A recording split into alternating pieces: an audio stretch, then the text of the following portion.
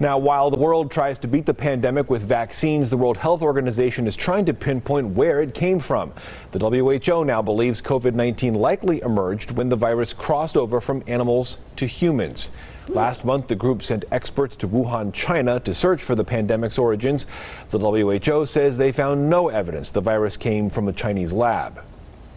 If someone in your family lost their life to the coronavirus, the government could help pay the funeral costs. Money is being made available by FEMA for low income families affected by the pandemic. FEMA now setting up the program. Families can receive potentially up to $7,000. The application process is still being worked out.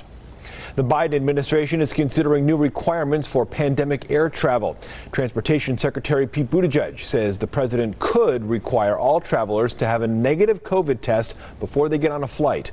A final decision will be guided by the Centers for Disease Control. The Centers for Disease Control is also expanding pet testing for the coronavirus. Now, there is no evidence you can actually get the coronavirus from your pet, but veterinarians say COVID in pets isn't actually new. Some have even shown symptoms after coming in contact with owners who have tested positive.